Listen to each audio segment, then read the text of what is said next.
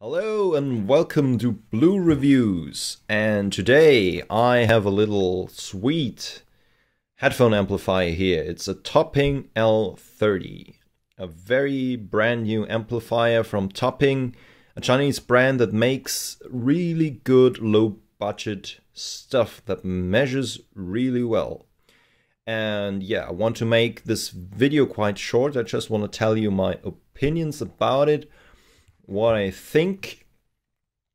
And yeah, here we go. So, build quality, nothing special, little black box, doesn't look too expensive, too high end. Volume knob feels okay, looks are okay. Quite looks more on the cheap side, definitely, but the build quality is okay, I would say. All right, so I don't care a lot about build and how it looks. To me, the most important thing is sound. And what do we have here? We have uh, an off button, a headphone amp uh, button, and a preamp function. I didn't use the preamp function, so only headphone is important for me. And we have 0 dB, dB, minus 9 dB, and plus 9 dB gain. Okay, and the volume pot. And here we have RCA input, RCA output for the preamp function, and a power supply. So very simple. Uh, so much for that. This thing, what makes it really special is it competes with the THX amplifiers from uh, Massdrop. Uh, these are a new line of amplifiers that claim to be very, very good in terms of measurements so this topping amp has also a similar circuit like that that has really, really good measurements. That means this amp has ultra low distortion, almost immeasurable low. Uh, extremely low output impedance. You can find a lot of uh, these specs on the internet, also measurements uh, on the forums in the internet. So this thing measures better than almost anything else on the market. So in terms of measurements, you cannot beat this thing. You know, this thing is basically the single-ended uh, section of a topping A90, which is a balanced amplifier, and it costs uh, more than double than this. But this thing here is basically the same in terms of the circuit.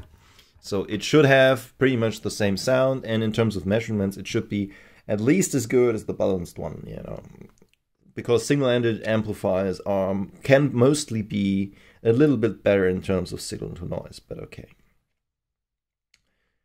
Technically, you know, the same circuit, um, but okay. Um, so, in terms of sound, yeah, how does it sound? Um, I had a bunch of amplifiers here. My DAC is a Mytek 192 DSD DAC, which is a built-in headphone amp that is not very. It's it's down here. It's a little bit of a mess, but yeah, not very good. Um, I had a Schiit Mjolnir here a long time ago. Sadly, I sold it. It was very nice. I had a Schiit Valhalla too, and what else did I have? Hmm, little dot tube amplifier, and here we have my baby, the first headphone amplifier that I ever bought, and I sold it and I bought it back because it is that cool. I like it. It's the old Burson Soloist. Today these these Burson Soloists are not as big anymore. Yeah, this these are the amps I compared it to. And this thing is class A, like amazing and a lot of watts and yeah. Really nice. But this thing in terms of measurements, you cannot beat it. It's amazing. So, yeah, I'm not a measurement guy, so I don't only believe in measurements. I think my opinion is we measure things like frequency response, total harmonic distortion, output impedance, and uh, all, all these kinds of things.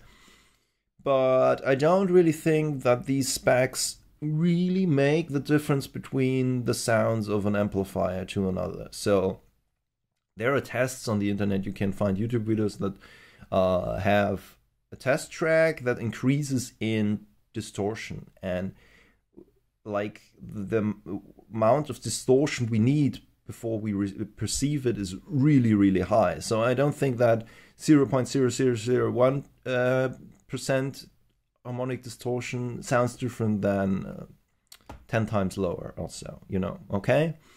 Uh, i don't care. I, I care about how real does it sound this is how analog does it sound how detailed does it sound these things. Okay and this amplifier is really good. It's definitely the best in its price range. I, I haven't heard anything better. It it uh, is better than the Burson in some regards but overall I like the Burson more. So what how is it? You know the bass is amazing. It has some of the best bass that i've heard. Really punchy really dynamic really deep really powerful and also warm and full sounding. It has a warm and full sounding bass.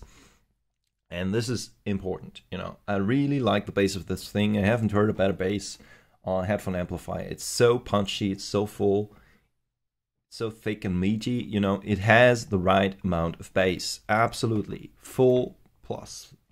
The mid range. The mid range is very neutral, very dry sounding, very okay nothing really to complain about. It has a very nice mid range, nothing special, just very neutral. Also, the high is very dry, very neutral. Not it's not a bright sounding amplifier. It's very detailed, but it's not bright at all. I would all I would even say it has the tendency to the warm side, and it's really really detailed, but not harsh and not bright. Soundstage is the weakness, I think, in this amp. It doesn't have the widest soundstage. The tube amps had a wider soundstage, of course. The Burson has a fucking wide soundstage. This thing has not the widest soundstage. It's actually quite small. And this is the thing that I, you know, uh, that is a little bit sad about it. And, and also the highs they don't sparkle enough for me. They are not. I like it a little bit exaggerated. I like it a bit, a little bit more lively. You know, tube amps give this life to the mid range, this light in the sound. This doesn't have that. It sounds very neutral, very mechanical, very electrical, but in a perfect way. So I don't know. You know, it, it is absolutely a perfect amp. You can buy this thing and be absolutely happy, and you haven't paid a lot of money, and you get absolute, really, really beautiful, good, high end sound. But it might not be what you like, you know, it might not be exactly what you like because you want something else in your sound, and then this thing isn't for you. This could can be a reference for absolutely neutral neutrality or for technical uh, measurement like perfection. And this thing does it. And when you go to the Burson, you know, you realize the Burson just sounds very much wider and smoother and a little bit more analog and high end. Okay. And well, this is the comparison between the two, you know. This is what I have to say about this thing. Buy it because it's cheap the price is super good. This thing is super good. But can it compete with a thousand euro headphone amp? I think almost. You know, I think this is 90% as good. The bass is better, the soundstage is not as good. Yeah, is it worth paying like 800 euros more? I don't know. For me, yes, this this Burson gives me more. It, it sounds more real. All the sounds that I hear sound less electrical, sound more real on the Burson and that's why I keep the Burson because it gives me what I want. But this thing will absolutely be happy with that. that. This thing is absolutely nice. If you don't want to pay more than 500 euros, definitely get this thing. You won't be disappointed, okay? Yeah, nothing more to say about that. Hope it helps a little bit. These amps get a lot of hype nowadays, but I think part of it it, it's it's it's absolutely uh, fine. It's absolutely what these amps are, but don't think that this is the end game headphone amp. I, I, I don't think that this is because it has, if you only go for sound and not for measurements, how you hear it, it has weaknesses. I tested it with these here, Beyerdynamic 1990 Pros, also Audeze LCD2s and uh, Sundaras.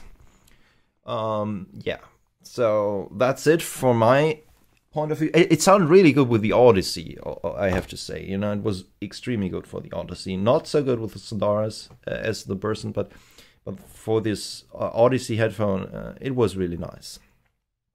Okay, hope it helps you a bit. And yeah, let's see if there be another video on this channel. This is just a test video. I'm going to sell this amp now, and I just thought I make a short video before it's gone. So, bye bye.